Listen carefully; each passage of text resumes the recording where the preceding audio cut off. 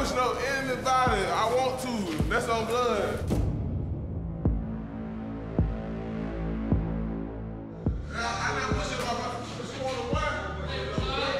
Rue is a big guy. Like, his arms fill up the uniform top. Like, he is a huge guy.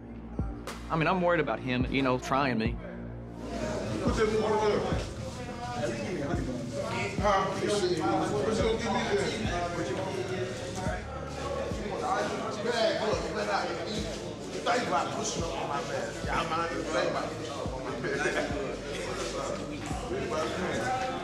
The next thing I know is Rue walked into a cell, took the dude's commissary, and I was like, I feel like, you know, he's about to jump me for my commissary items.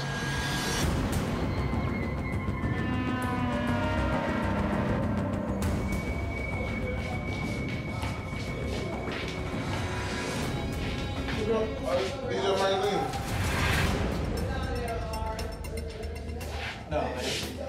Rue can have it. I mean, my life ain't worth a dollar or two dollars, whatever it is.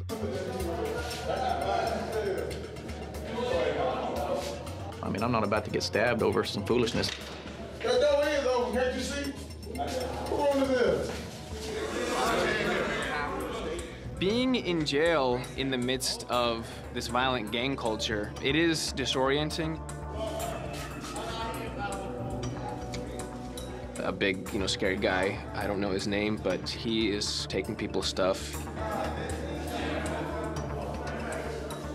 I feel like this could become dangerous or problematic.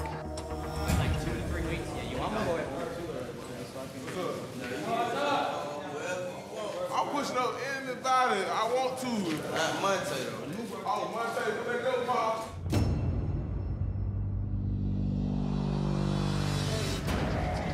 going on? Why you walking up on me, bro? Hey, don't do. If I'm going to swim with you next time. It don't matter.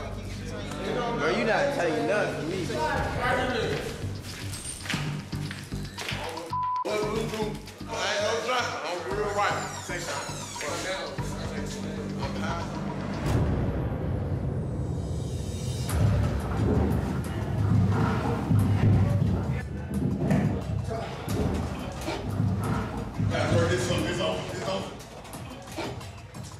Could hear them fighting it out, and it literally heard like somebody was hitting their hand on a wall.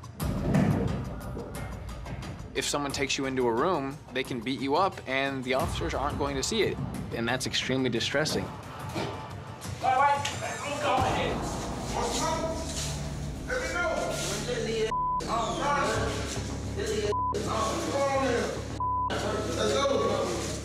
Immediately, you can see Trey's nose was so swollen. Rue is a big guy. Trey, on the other hand, is bones and skin, and you got to give props to Trey for, for taking that beating like that and not even snitching, not saying a word.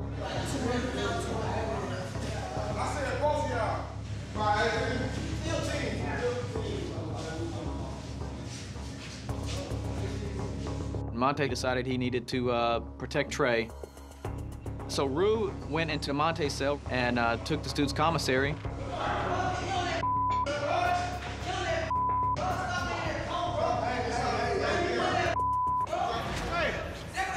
Y'all need to have some peace.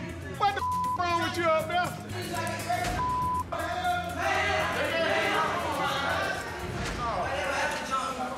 I ain't finna touch him.